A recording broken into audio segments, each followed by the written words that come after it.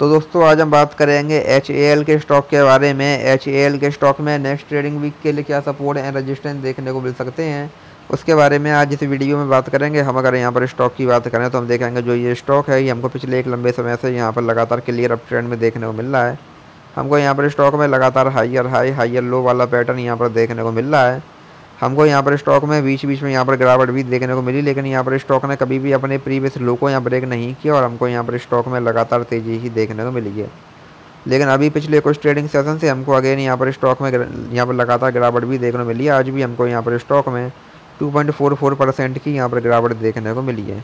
यहाँ पर अच्छी बात यह है कि यहाँ पर गिरावट के बाद भी जो ये स्टॉक है वो यहाँ पर अपने सपोर्ट लेवल के ऊपर बना हुआ है तो यहाँ से भी अगेन हमको स्टॉक में रिकवरी भी देखने को मिल सकती है यहाँ से अगर अभी स्टॉक में रिकवरी आती है तो यहाँ से रिकवरी की कंडीशन में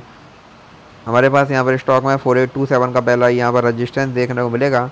अगर स्टॉक इसको भी यहाँ ब्रेक करता है दैन से हमको स्टॉक में फाइव ज़ीरो सिक्स फोर और अगर स्टॉक ने इसको भी यहाँ ब्रेक किया दैन से हमको स्टॉक में अगेन एक अच्छी तेज़ी,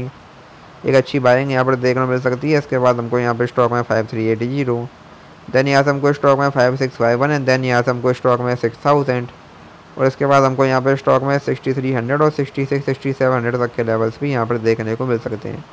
वही यहाँ से अब अगर स्टॉक में गिरावट आती है तो यहाँ से गिरावट की कंडीशन में हमारे पास यहाँ पर स्टॉक में फोर फाइव फोर वन का पहला यहाँ पर सपोर्ट देखने को मिलेगा। अगर स्टॉक इसको भी यहाँ ब्रेक करता है दैन यहाँ से हमको स्टॉक में फोर वन नाइन एट और थ्री सेवन नाइन सिक्स तक के लेवल्स भी यहाँ पर देखने को मिल सकते हैं एज ए नेक्स्ट यहाँ पर सपोर्ट तो ये स्टॉक में कुछ इंपॉर्टेंट लेवल्स हैं, आप इन पर ध्यान दे सकते हैं। बाकी वीडियो में कोई बाई सेल होल्डिंग सलाह नहीं है। वीडियो केवल एजुकेशनल पर्पज़ के लिए है धन्यवाद।